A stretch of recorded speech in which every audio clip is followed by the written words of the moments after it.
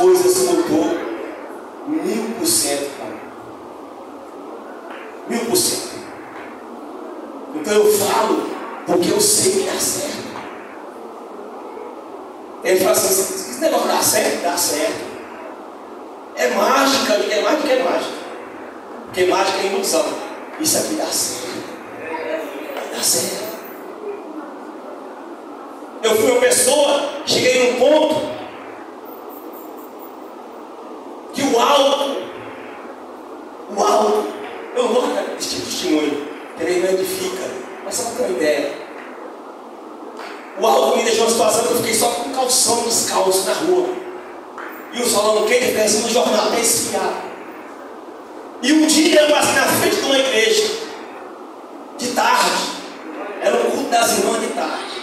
E eu fui passando e uma irmã estava na porta, eu fui na rua e falou assim: Olha, jovem, Deus tem um projeto na sua vida, você precisa aceitá-lo. Eu aceitei, mas saí, mas eu fiz um compromisso com Deus. Às vezes eu levanto a mão e vou embora, mas para Deus foi um compromisso. Ele leva a sério a minha atitude. Quando eu aceitei Jesus, as coisas foram mudando, mudando, mudando. Eu quero contar um testemunho rapidinho para a edificação dos irmãos. Eu, você não pode sair sem Cristo. Aceitei Jesus, casei, minha, minha esposa grávida, e eu fui morar na casa do sogro. O sogro é de boa, minha sogra está até acostumada. Mas minha esposa assim: olha, caça uma casa para alugar. Não, mas o aqui. Não, caça uma casa. Digo, E a minha esposa é brava, quem conhece ela sabe que é brincadeira não. Valdeci é terrível. Eu digo, vixe agora. Eu tinha um mil real e ela tinha um terreno que valia mil real. Eu saí da reunião, subi atrás de uma casa para alugar. Olhei nas placas, nada, tal. Cheguei numa casa, mas que a porta, isso aqui não vai dar certo. Subi, subi, subi, Deus guiando. Cheguei no boteco, no bar. Os caras jogando sinuca, jogando baralho e tal, e uns cabaceiros. Eu vou perguntar que alguém só que sabe da região aqui, sabe? Conversei com um, falei assim, rapaz, você não sabe aonde tem uma casa para alugar? Ele falou assim, não, eu tenho uma de vender. Quero, eu quero alugar. Não, você tem, você tem um terreno, viu? A minha esposa tem um terreno aqui, você quer o Raminho. Eu assim, pronto. É, é, perto da minha família, eu quero um terreno lá. No Zé Raminho. Irmãos, e aquela conversa daquele boteco que aconteceu? Eu falei assim, não, eu tenho uma casa para te vender. Mas moço, não tem condição. Você tem pode ter um mil real. E o terreno, você oferece você por mil real e o terreno. Aí você pergunta dele, o cara está bebendo. Monta aqui na moto, aqui. Nós não tinha nada. Fomos lá na uma casinha no fundo assim, cheio de pé de manga, que uma casinha no fundo. Você sacando aqui, ó.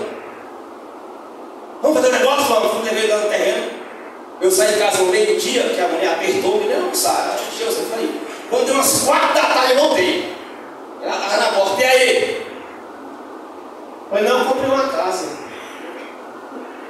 Ela falou, você ainda vai gracinha ainda? Gracinha comigo? Eu falei, não, comprei a casa. Está aqui a chave. E comprei. Pô, dois e. Ele falou assim, tem água, tem luz, tem tudo, força, belezinha. Irmãos, realmente, eu fui no cartório, fiz o compra e venda. Que era compra e venda, porque eu tinha trocado uma casa na outra, mas não tinha passado documento, era compra e venda. Eu comprei. No outro dia cedo eu olhei, o homem puxou, eu vi o senhor andando, só assim, o senhor andando, mas não pode, assombrado, o senhor andando que eu olhei, o vizinho estava puxando, era rabicho, não tinha luz não.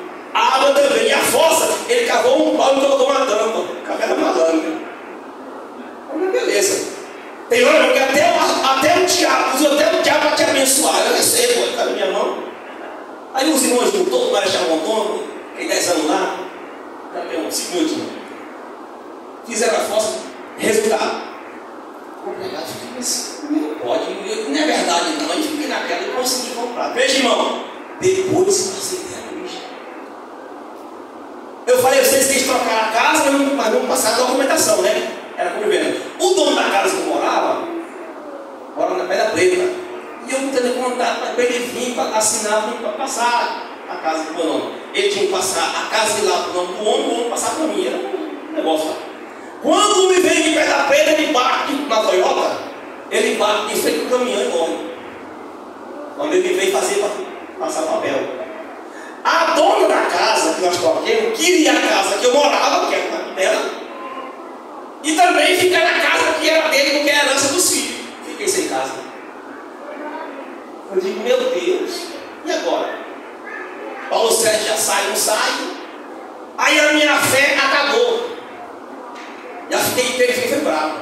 A minha esposa falou assim: não, o que Deus deu, o diabo não toma.